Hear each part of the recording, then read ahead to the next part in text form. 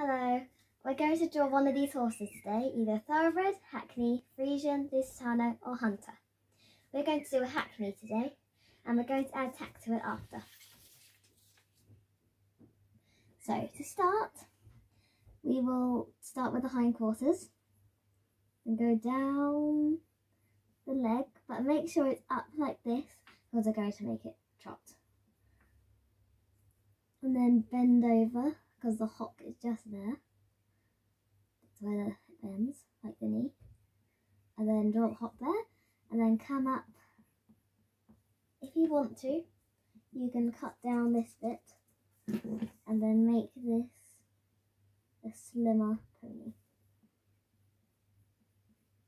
Like that.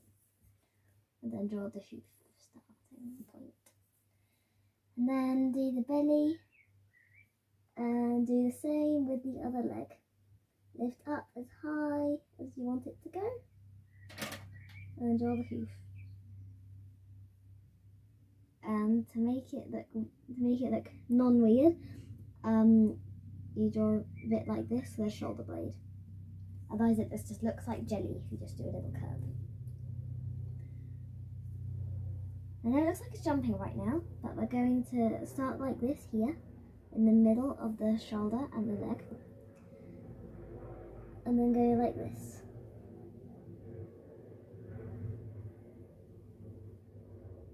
So it's not jumping. Same with the other leg. Don't forget to draw a line of the hoop.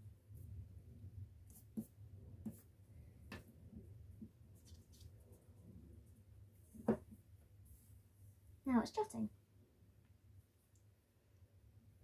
You can put the head as high as you want it to go. If it's high, it will look way better. You can show any emotion you want when we do the mouth. Here's the cheek, and then the chin, and here's the mouth.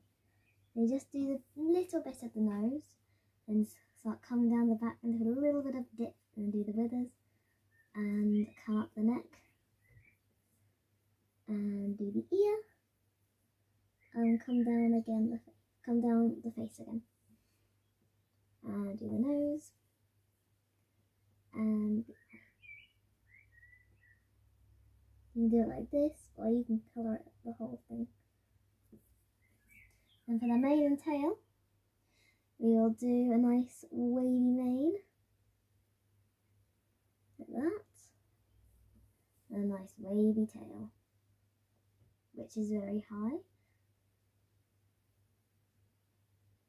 not as high as an Arabian's tail though. Oh, I don't look like an Arabian. And a wavy forelock as well. We've done the horse face.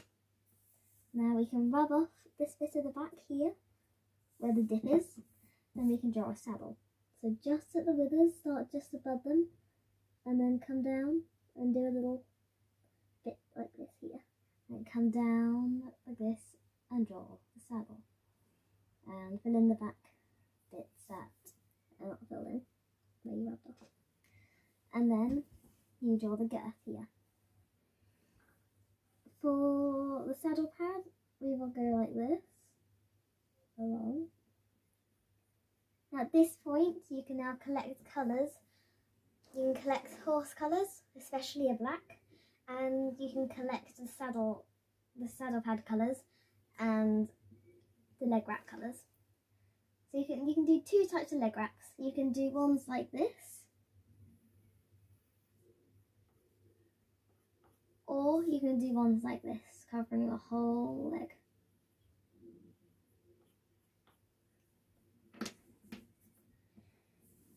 We are going to do polo wraps. That's the one I just rubbed off.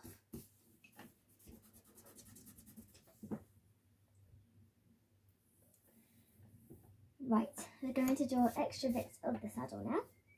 So, come down to make the soft seat, and then to make the saddle flap, saddle flap go like this. Then go down with the stirrup leather, and do the stirrup. And now we'll do starts just below the hock and ends where the fasten starts.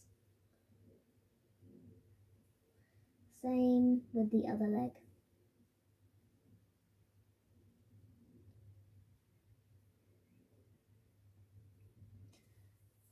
And then, then for the front legs, do it just below the knee.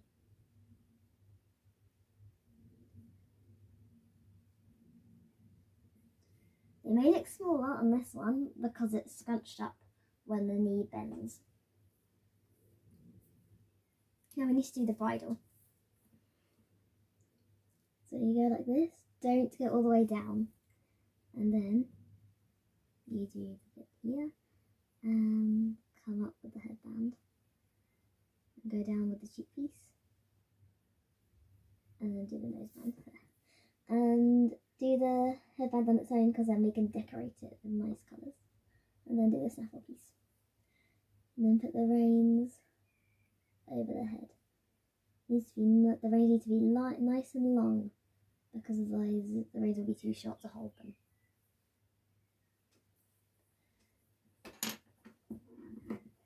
Now we finished the horse. Now we can we can colour it in. You can, you can copy you can copy my colours if you want to. I'm going to do a Palomino ready.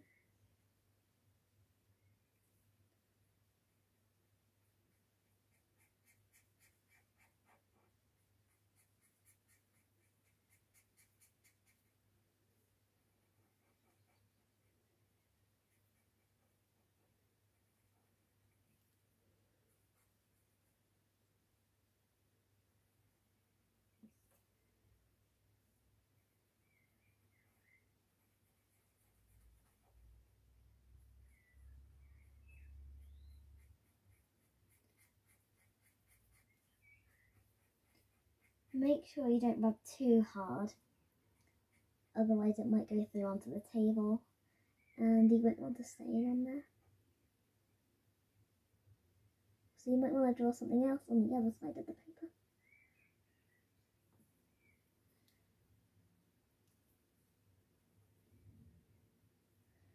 I'm going to stick with a white mane and tail. If you want to, you can do a black mane and tail if you want it done but I'm sticking to the plan.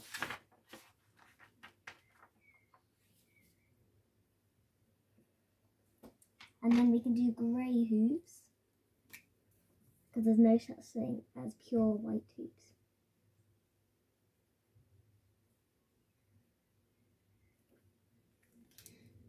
Now we can colour in the saddle pad and leg wraps because it's going to be a matchy matchy kit. I'm going to do lime green.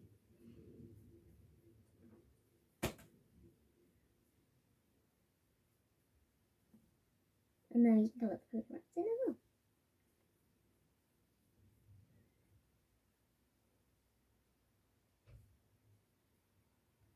If you're wondering, the little lines here that I've done in pencil are the bits where the like it's like bandage, of a different colour, where it wraps around the leg in layers.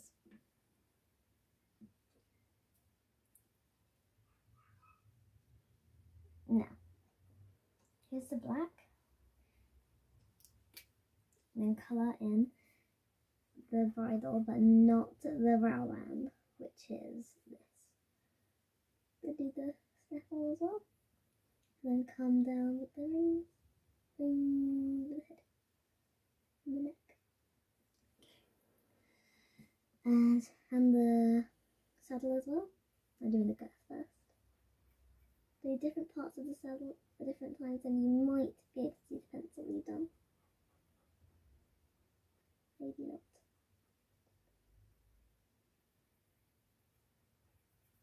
If you can't see your stirrup, I can slightly.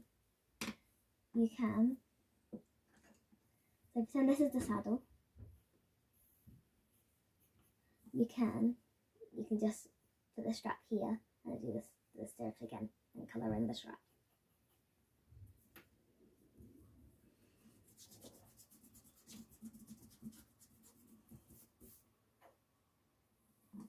Right, Hackney, and you can write a name if you want. I'll name mine Hattie the hackney. There. Look out for more of these. Look out for more of these videos if you want to learn some more about drawing horses. See you next time. Bye.